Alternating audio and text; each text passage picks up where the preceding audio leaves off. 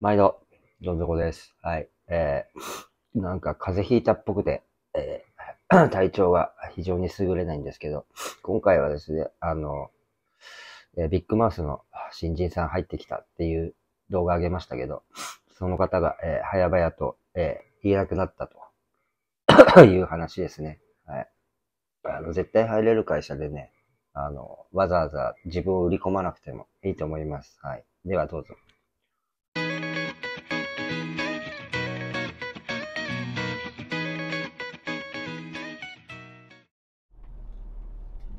毎度、どん底です。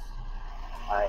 えー、今がね、えっ、と、2月26日ですね。月曜日です。はい。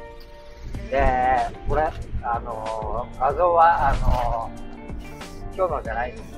えー、土曜日、土曜日だったかな。はい。の、えー、画像ですね。はい。で、あのーちょい前に、あの、新人さんの話、あの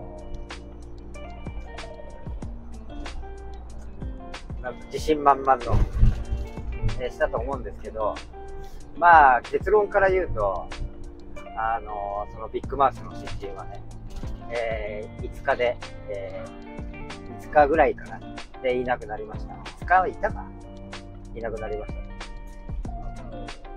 結局、まあ、まあ、全100%嘘、言ってたことが嘘ではないにしても、まあ、嘘というかね、あのーちょっと誇張してたというか、じゃないかな、言ってたのはね。それを蓋を開けてみたら、あの、できねえじゃんって。話で。はい。で、まあ、それがね、まあ、バレ、バレて居づらくなったのかはわかりませんが、はい。あの、いなくなりました。はい。で、よくわからないんだけど、あの、私の今いるとこだと、あの、面接来れば、えー限りなく100%採用されるんですけど、あのーその面接で、えーそこまであの自分をよく見せようとしなくてもいいのかなと。正直その人もね、あの、素直に本当のこと言ってれば、あの、いられたと思うんですけどね。ずっと。まあ本人がやってらんねえってならないから、いられたと思うんですけど、なんかね、ちょくちょくやっぱいるらしいんですよね。そういう、あの、嘘。嘘をあの言って入ってくる人って。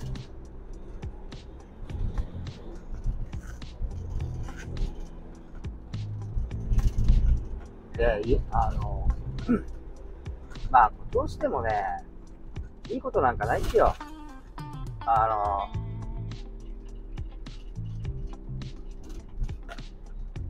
の、うん、それできるって逆にね、ハードルが上がっちゃって、うん、なんだよっていう話、見方されちゃうよりはね、あの、ど誰でも入れるようなとこだったら最初むしろ私のより、あの、ハードルを下げといた方がいいんじゃないですかね。あの、トラック乗ったことありませんとかさ。中にはいます、いるんですけど、あの、今いる同僚たちの中でもね、実、実はってちょっと、あの、聞いたこともあるんですけど、乗ってたのは乗ってたんですけどね、みたいなぐらいの方が、誰でも入れるとこだったらいいんじゃないかな。そんなね、何でもできます、や、やってました、みたいな、と言わなくても、入れるし、と思います。で、あの、だからもう何人ね、で何人辞めたかもうカウントしてないんですけど、で、またね、今月いっぱいで一人辞めるんですよね。あのだからもう本当に、いやまあ入れ替わり立ち替わりって、感じですか？人数なんか変わってないんだよな、いる人数。で、あとはね、だから面接も、なんか、やっぱりね、来てるらしいんですけど、あの、もう面接、面接の時点でね、面接の当日バックレみたいなのが何件かあったっていうのも聞いてるし、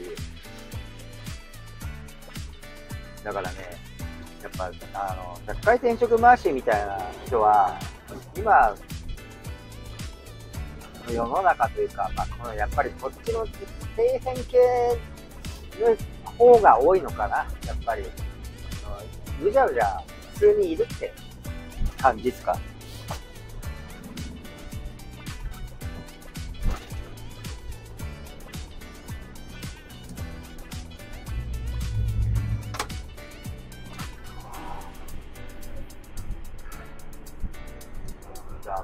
マーシー、まあ、マーシーもね、もう今回また最最近のやつでだと、またバックレたんですよね。確か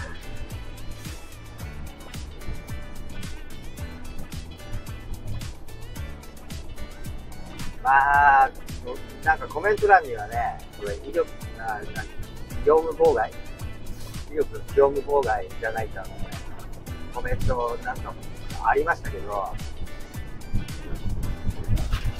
いや、本当ね、さすがにあの、相手先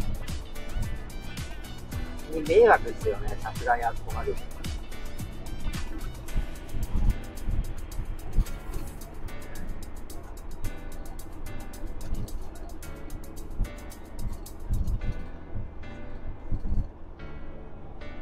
絶対、あれ、そその面接とかのことに関しては、絶対あの動画にしますもんね。だからネタじゃねえかなと思うんですけど。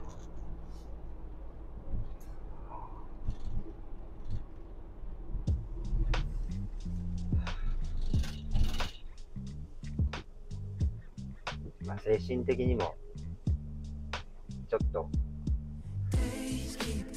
病んでるんじゃないかな。なかなかね、さすがにあそこまでっていうのはないでしょう。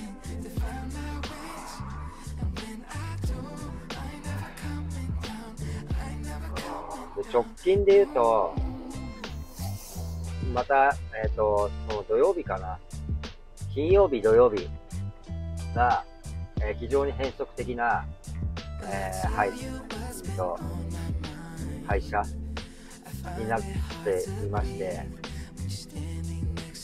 まあ、ブラック、ブラックやな会社です。で、そあ、その前かな。その前がまた、まあ、長時間、寝坊、あ、寝坊じゃねえ、寝て、16時間。寝まして。最近は、結構、結構、長いこと、寝坊してない。起きれるようにはなりましたね。時間。起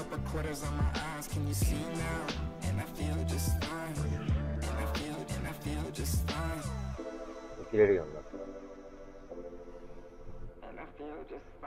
で、まあ、1週間のうちの1、1、2、3、4、4日間は今のところ同じとこに行ってるので、同じコースね。なので、あの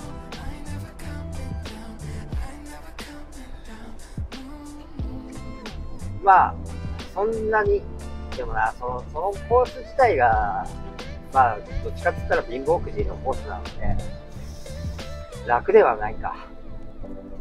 ちょ、ちょ、ちょこっとだけ気持ち的に、あの、もう分かってるとこなので、いいかなって気はするんですけど、あんまり好きな仕事じゃないです。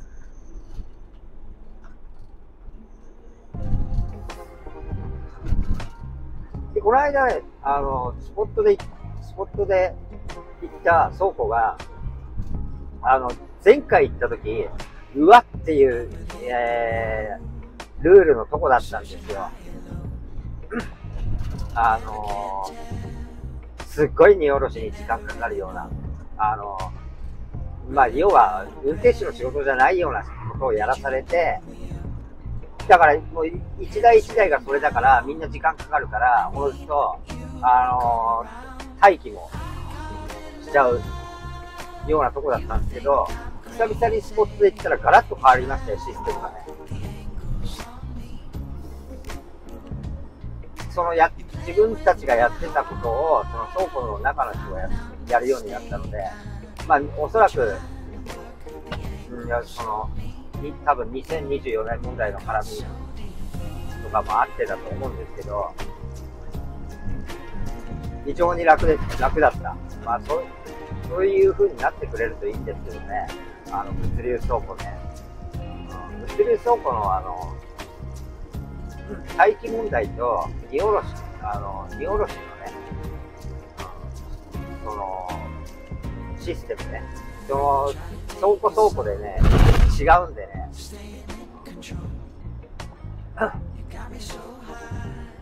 この辺はね、あの、ドライバーの方に負担がかからないようになってくると、非常にありがたいかなと。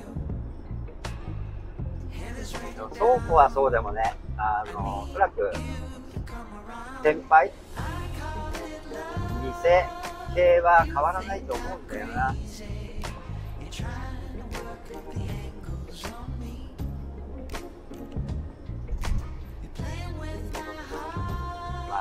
感じですかね。あとなんか、話そうとは思ってたんですけど、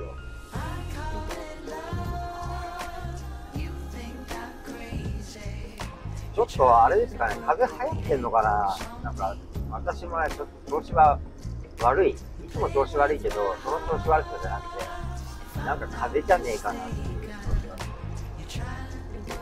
あと、花粉？も花粉と風邪、どちらかわかんない時があるんで、ね、